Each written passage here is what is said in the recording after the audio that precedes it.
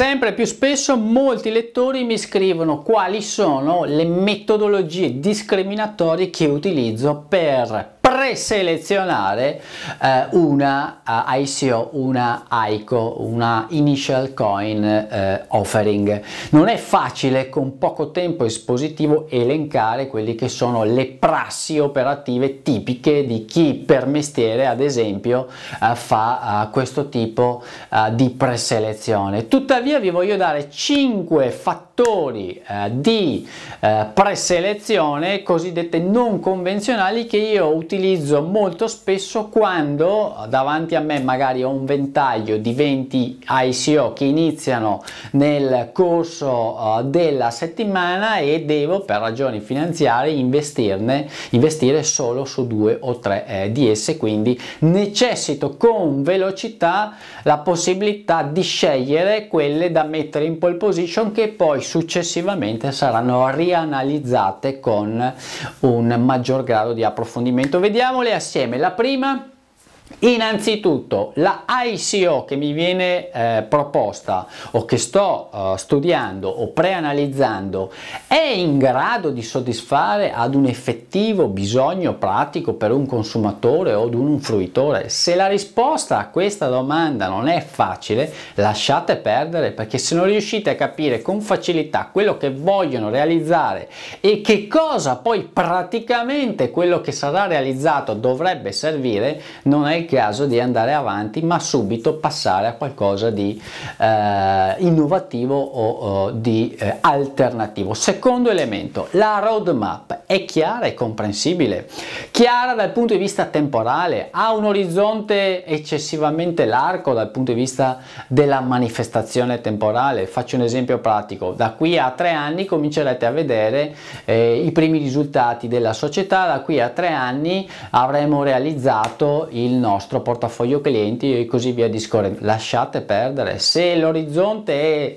troppo eh, troppo lungo non è il caso di aspettare così tanto perché per fortuna esistono tantissime altre opportunità uh, in uh, parallelo. E molto interessante anche la comprensione della roadmap non dal punto di vista temporale ma degli obiettivi che devono essere raggiunti all'interno di un percorso in ambito uh, cronologico. Terzo elemento di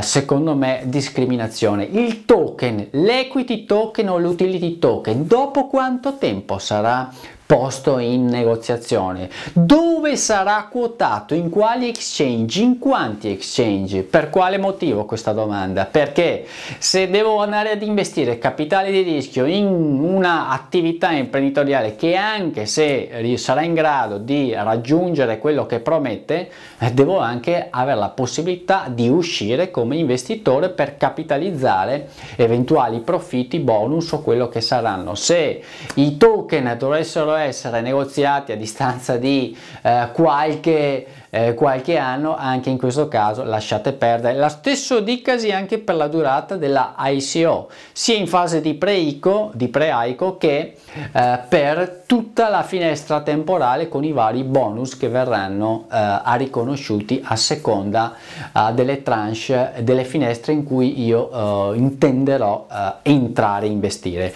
Quarto elemento Uh, discriminatorio che molte volte a me ha dato i suoi frutti perché mi ha consentito di evitare i cosiddetti scam è il sito, il website, vale a dire il sito internet in cui è uh, pubblicizzata e descritta l'attività imprenditoriale con i suoi futuri sviluppi. È credibile? Ah, trasmette un'immagine di professionalità o è un sito fatto da un ragazzino improvvisato uh, in uh, poco tempo uh, senza grandi velleità? Spesso molte ICO hanno questo tipo di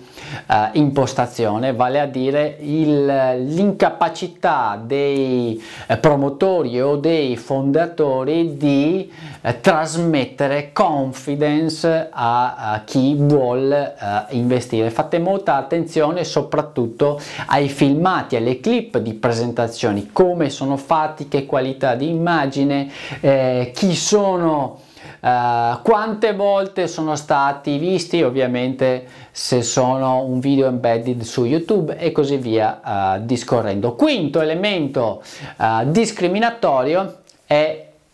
i kids, come li chiamo io, i ragazzini. Se vado a analizzare il team, uh, il teamwork, il team uh, fondatore, chi sono le persone che vogliono lanciare questo nuovo progetto imprenditoriale e mi accorgo che sono esclusivamente ragazzini, vale a dire diciottenni, ventenni, per carità, sicuramente qualche volta avrò anche scartato il futuro Mark Zuckerberg, però nella maggior parte delle eh, occasioni eh, ci troviamo innanzi a persone che magari sono appena uscite dall'università o non l'hanno neanche completata e si cimentano, si buttano uh, su, tipo, su, questo tipo di uh, ambiente. Non basta essere giovani per lanciare un'impresa, ci vogliono anche competenze e spesso molto background professionale in ambito finanziario, uh, soprattutto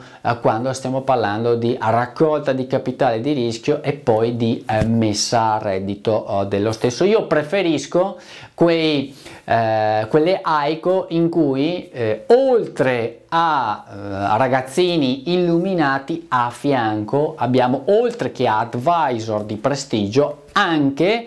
altri soci fondatori che hanno un background professionale di significativa rilevanza e questo lo si può generalmente desumere attraverso la pagina LinkedIn in cui eh, ogni fondatore poi riporta il proprio profilo eh, professionale. Trovate sulla Uh, nota descrittiva della clip quelli che sono secondo me i tre migliori portali di informazione finanziaria per la ricerca ed analisi delle AICO del momento di quelle che saranno quelle che sono in fase di pre-lancio di quelle che saranno lanciate eh, più avanti con eh, spesso il commento da parte eh, di esperti eh, del settore che danno un giudizio di merito proprio sull'attività imprenditoriale eh, che l'AICO vuole eh, lanciare